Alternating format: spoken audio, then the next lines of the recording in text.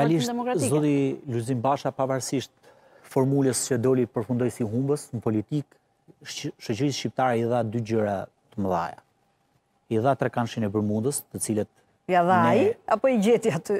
I gjeti aty, ia dha si koncept. Trekëndëshi i Bermudës nuk ishte diçka që mund të kalojë kaq thjesht. Ne kemi 32 vite që jemi peng i këtij lloj trekëndëshi.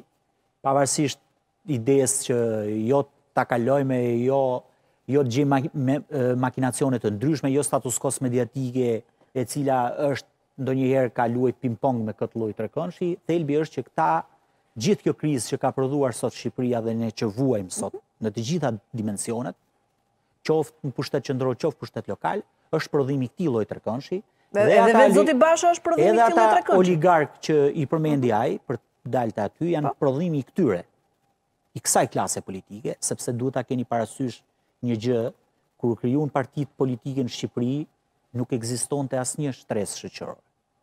Ishin këto parti politike që i krijuan ata.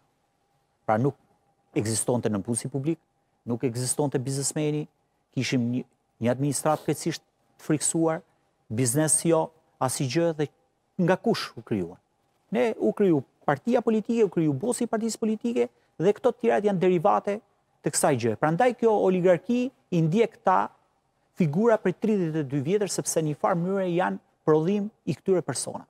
Dhe zoti Lulzim Basha s'tha asgjë tjetër veçse tha një element të vërtetë, real, por shumë vonë. E tha shumë vonë, duhet ta kishte thënë shumë herët, duhet ta kishte thënë shumë herët, çdo gjë e Lulzim Bashës, pavarësisht vërtetësisë që ka, është krejtësisht e vonuar sot.